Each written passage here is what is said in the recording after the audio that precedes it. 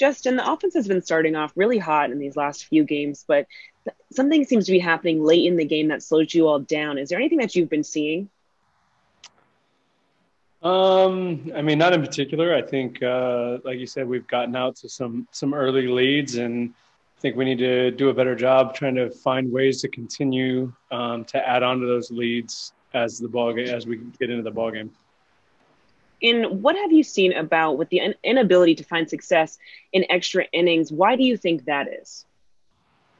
Yeah, I have no idea. If you guys have anything, um, let me know. But it's it's pretty weird. I think one in ten this year in extra innings. That's obviously not good.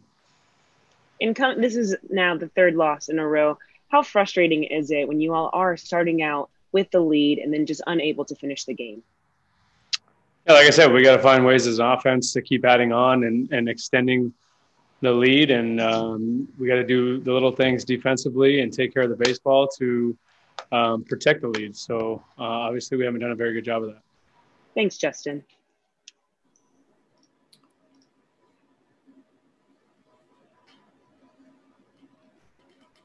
Next questions from Bill Plunkett. Go ahead.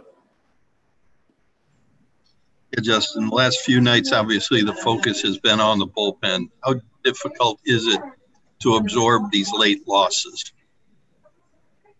Um, I mean, I think all losses are kind of created the same, obviously. And, and like I said, I think offensively, we need to find a way to do a better job of extending leads throughout the game. Um, you know, even the, these last month or so, we've been pretty reliant on on big crooked numbers and and not able to find ways to scratch off some some ones and some twos in there and um, you know we we need to keep on adding on um, as we get into these games.